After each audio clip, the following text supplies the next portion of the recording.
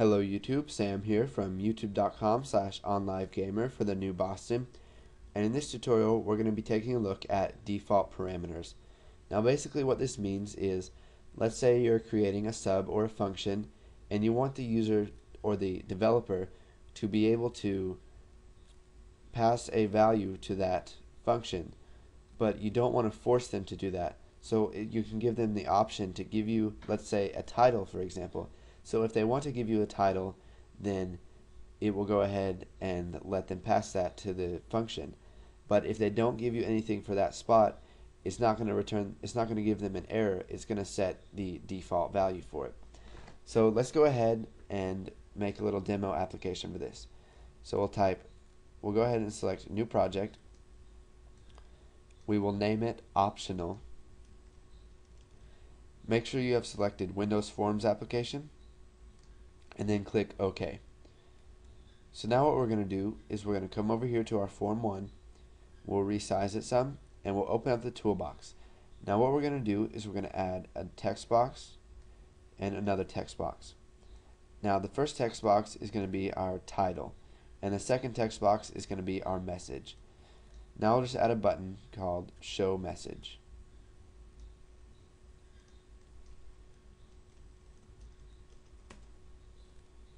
So we'll resize that a bit so it'll fit in. And we're going to go come over here to our text box 1 and we'll rename that to text title. And we'll re rename this one to text message. So now let's close out of our toolbox and we'll double click on show message to open up the event handler for that.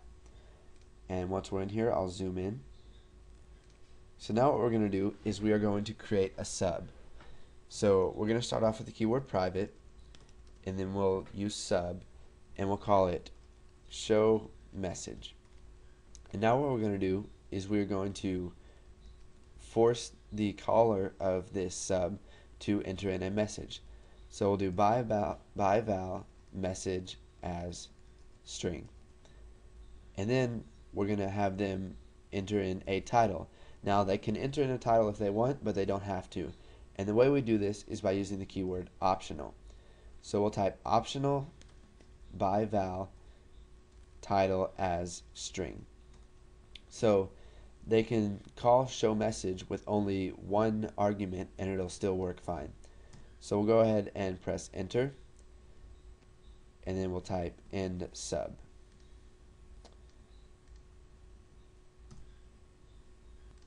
Now what we need to do is set a default value for our title. Now you cannot use optional unless you have a default value set. So what we're going to do is we're going to add an equal sign here. So optional by val title as string is going to be equal to default title. And so now we'll just do message box dot show message and title. Now this isn't very practical, but it's to teach you the concept of optionals and um, using default parameters.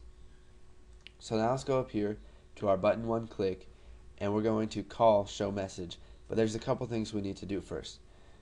We will declare a variable so dim message as string and it's going to be equal to text text message dot text. Now we're going to create a title uh, variable. So dim title as string and it's going to be equal to nothing. So now what we're going to do is we're going to create a simple if statement to see if the user has typed anything in the title.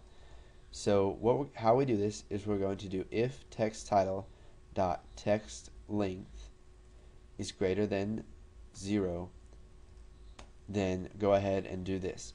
Now what this does is it gets the length of the text inside that text box and you can see that it says text length as integer gets the length of the text in the control.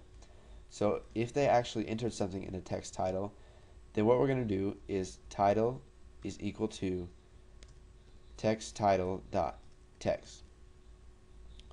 Now what we're going to do is we're going to show message. So show message and then we'll do message and title. Now what if they didn't type anything into the text title? to handle this, we're just going to add an else.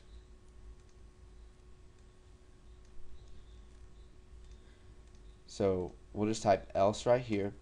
So if text title dot text length is greater is um, equal to zero or less than zero, which it cannot be less than zero. It's either zero or something greater than that. So if it is equal to zero, then we'll just go ahead and show message and then we'll pass message to it and no title. And it will show it will set the title to default title. So let's go ahead and run this. And here's our form right here. If we go ahead and set something as the title we'll type hello. And then hello YouTube. If we click show message you can see the title is set to hello and it sh shows hello YouTube. Now if we take out hello and leave it as nothing you can see that when we click show message it says default title right there. So let's go ahead and close out of that. So um, go ahead and make some subs or functions if you'd like and play around with optional ByVals or use you can use optional ByVals with ByVals and with ByRefs go ahead mix and match those get a lot of practice with that and then once you're done with that go ahead and move on to the next tutorial. And thanks for watching guys